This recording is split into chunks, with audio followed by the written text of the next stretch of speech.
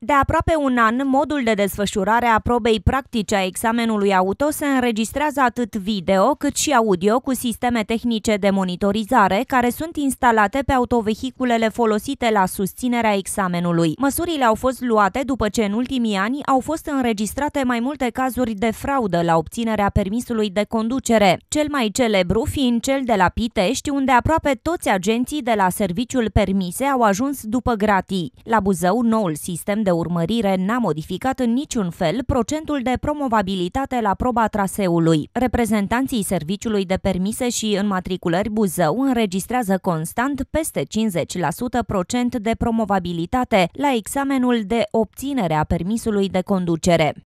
Avem obligația să filmăm uh, proba practică, nu au intervenit modificări, și din fericire și pentru noi și pentru cetățeni, de când a, uh, am introdus uh, filmarea probei, procentul nu s-a modificat, a rămas constant cu cel dinainte.